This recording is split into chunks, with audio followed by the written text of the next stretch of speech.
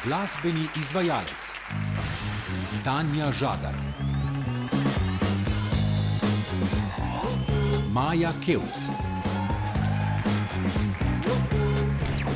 Jan Plestenjak.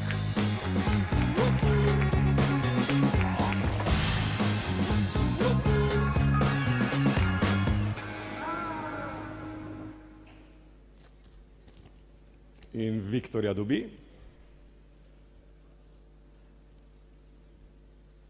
Tanja Žagar.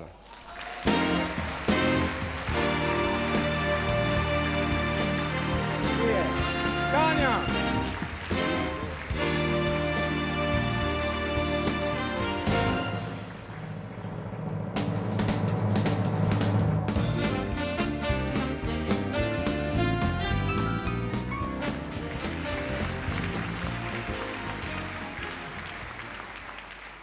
Najlepša hvala. En lep, lep dober večer želim vsem skupaj. Um, moram povedati, da sem ganjena in zelo, zelo počaščena, da sem prav jaz sprejela tole lepo nagrado. Um, ko smo zvedeli, da sem nominirana, so me ljudje začeli spraševati, Tanja, a če dobiš Viktorja, boš tudi skočila županu v naročje, tako kot si to naredila leta 2001 na slovenski popevki. Sem rekla, pa to je bilo 11 let nazaj, ne bom. Zdaj pa priznam, da so v meni taki lepi občutki, da če bi bil kje v bližini, gospod Zoran Jankovič bi najbrž bila v njegovem naročju. Um, iskrena, iskrena zahvala moji zvesti publiki, ki me spremlja. Hvala vam za vse vaše aplauze, za vso podporo. Uh, z največjim veseljem vam prepevam. Hvala za vse občutke in, in, in te zgodbe, ki jih delite z menoj, ki mi dajo uh, velik, velik navdih za moje ustvarjanje. Najlepša hvala. Od zdaj bomo žagali z enim, z enim članom več. Um, najlepša hvala moji ekipi studija Gong. Ogromna zahvala gre tukaj Miki Ušarcu, s katerim sodelujeva že 16 leto in sem na najno sodelovanje res zelo, zelo ponosna. Verjamem, da bo uspešno delala še naprej.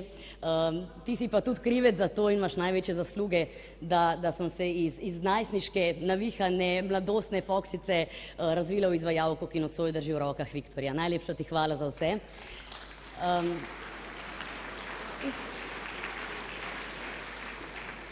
Velika zahvala za pomoč gre Tini Markan, vsem mojim prijateljem, moji spremljevalni skupini Avantura iz Prekmurja, ki me spremlja, prav tako prvi skupini Allegro, ki me je najprej spremljala, potem velika zahvala mojim sodelavcem, učencem, njihovim staršem in vodstvu glasbene šole Logatec, ki me podpira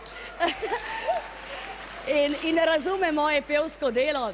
Hvala lepa za razumevanje uh, in ne morem, ne morem mimo vseh avtorjev, ki mi. ja, mimo vseh avtorjev, ki mi pomagajo pisati lepe pesmi, absolutno bi pa rada omenila še tudi dekleta, s katerimi sem začela um, leta 96 prepevati v skupini Foxy Teens. Hvala, punce! Ta Viktor delim tudi z vami mojima staršema, mami in očetu leti en velik objem in poljub. Hvala za vse, srečna sem Slovenija, naj živi slovenska glasba in lep slovenski jezik. Srečno!